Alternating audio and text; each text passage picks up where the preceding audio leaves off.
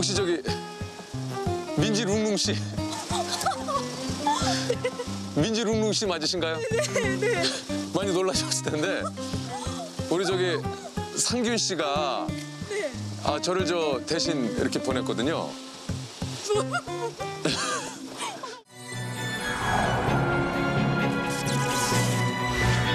코로나로 정리해고 당한 저 대신 생계를 책임지고 있는 아내에게 전하고 싶습니다. 코로나19 피해를 직격탄으로 맞아 회사가 힘들어지면서 결국 내가 구조조정을 당했을 때 내세가 안 했지만 많이 놀랐지.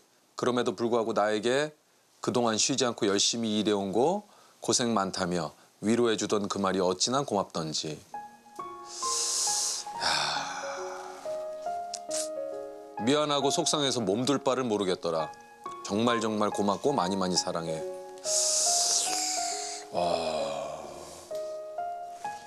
아, 이거 울컥하네. 아, 여보세요? 아, 안녕하세요. 아, 상규 씨 안녕하세요. 아, 지금 저 우리 아유 아이랑 아이랑 같이 있네요. 아니 그 저 배송을 의뢰를 해 주셨는데 제가 지금 이게 봤는데 쉬신 지 얼마나 되신 겁니까? 4월 달부터 쉬었어요. 육아를 하시면서 어떻게 좀 지내고 계신지. 그 자격증 준비하고 있어요. 12월 달에 자격증 시험이 있어서 이 공부하실 시간도 사실 많이 없으실 것 같은데요.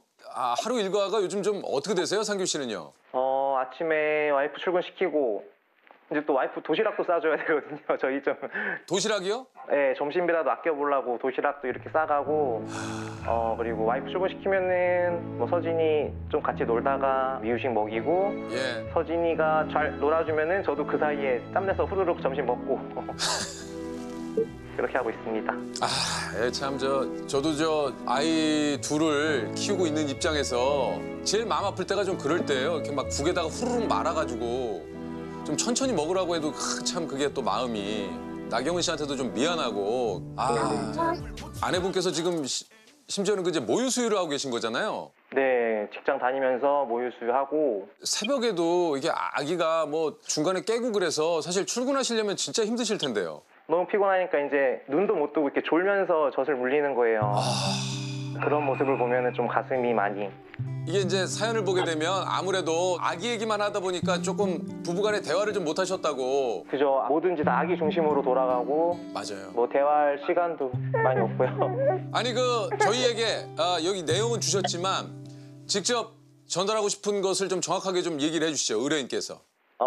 어, 민지야, 내가 갑자기 실직 이렇게 해서 정말 힘들 텐데 새 식구 잘 책임질 수 있도록 이렇게 바쁘게 움직여줘서 정말 고맙고 와이프의 역할 그리고 서진 엄마 역할 잘해줘서 고맙고 나도 앞으로 잘 노력하는 그런 남편 서진이 아빠 될게. 아, 뭐 혹시 애칭이 있다거나 아, 애칭은 어 룽룽 사랑해 고마워 왜 룽룽이에요? 연애 때부터 이렇게 갖고 있던 개인 별명인데요. 제가 그러면 룽룽이라고 해서 그 얘기를 그대로 전해드릴게요. 민지룽룽 이러면 더 좋아해요. 민지룽룽 이러면 더 좋아해요. 야 근데 이거 내가 전해야 되는 건데. 아 그렇죠.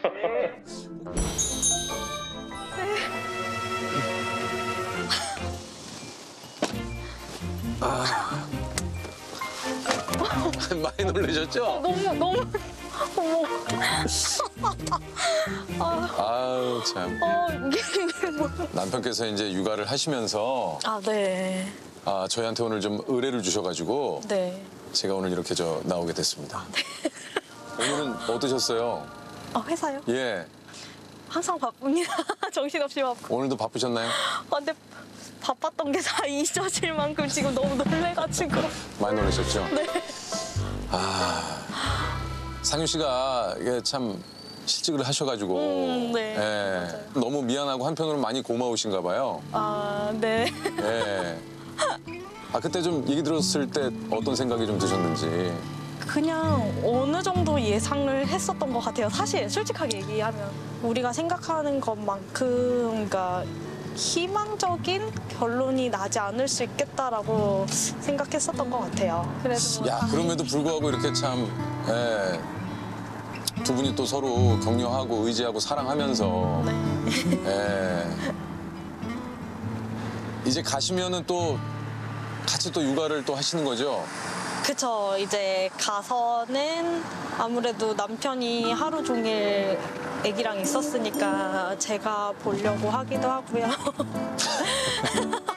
너무 행복하지 않습니까? 맞아요. 아기가 있으니까 생각하는 요게 조금 더 잘 지나가고 있는 것 같아요. 네. 그 상규 씨가 그 얘기도 하셨어요. 아이가 그 우리 두 분의 그 중심이다 보니까 지금은 이야기를 해도 아기 중심의 이야기가 돼서 좀 그것도 한편으로는 아, 따로 이렇게 시간 내서 데이트하신 지도 오래되셨죠. 예, 좀된 것 같아요. 저도 결혼했지만 예, 사실은 그 아내하고 이렇게 단둘이 데이트를 하기가 아 참 그게 쉽지 않더라고요. 그쵸. 네. 혹시 뭐 제일 하고 싶은 거 있으세요, 민지 씨는? 시간이 오롯이 좀 나에게 그냥 있다면? 되게 소소하긴 한데요. 예. 머리 하는 거. 아, 머리요? 네. 미용실 가신 지 오래되셨어요. 네. 많이는 아니더라도 이렇게 뭐 머리도 좀 계절에 따라서 좀 색깔도 조금 그쵸. 바꾸고 싶고. 예, 맞아요. 저희 그 회사가 마음을 전달을 하는 그런 회사거든요. 상균 씨가 이 얘기를 저에게 그대로 좀 전해달라고 어, 얘기를 하셨어요. 네. 잠깐 상균 씨가 돼서 좀 그대로 전달을 해드려도 되겠습니까? 네. 버거우시면 눈을 감고 들으셔도 돼요. 네, 알겠습니다. 아, 민지룽룽. 민지룽룽 어, 이렇게 불러보는 게 좀 오랜만이네. 갑작스런 실직에 가장 두려웠던 건 너한테 부담을 주는 거였어. 민지야, 너의 남편으로 살게 해줘서 고마워. 서진이 아빠로 말할 수 없는 행복을 누릴 수 있게 해줘서 고마워. 다음 달 시험도 열심히 준비할게. 맨날 괜찮다고만 하지 말고 나랑 같이 나누면서 살자. 이 세상 하나뿐인 민지룽룽 사랑해. 그리고 고마워. 이 말을 전해왔습니다. 어, 사실 뭐 이따 좀 댁에 가시면 뵙겠지만 네. 우리 저 상규은 씨에게는 하시고 싶은 얘기 없습니까? 아, 상균, 상균 씨한테. 그냥, 제가 힘든 티를 좀 내긴 했었거든요. 왜냐하면, 그러니까 마음에 준비는 하고 있었는데 사실 3개월 만에 복직을 실제로 할 거라고는 생각을 못 했었어서 힘든 티를 내서 좀 미안하긴 하고 다 받아줘서 고맙다는 얘기를 좀 하고 싶어요. 네. 아, 네. 아이고, 제가 내리면 되는데. 아이고. 자 그러면 민지 룽룽 씨 오늘 하루도 고생 많으셨습니다. 우리 저 상규 씨하고 또 민지 씨하고 우리 서진이 모두 행복하기를 바랍니다. 자 그럼 저는 여기서 인사드리겠습니다. 자 제가 파킹 해놓고 들어갈게요. 예, 예. 아, 들어오신다고요? 예, 아니, 왜 여기 세워온다고요? 네, 들어가세요. 다 들어가도 돼? 어 뭐야 벌써 왔어? 뭐야? 와, 있어. 확인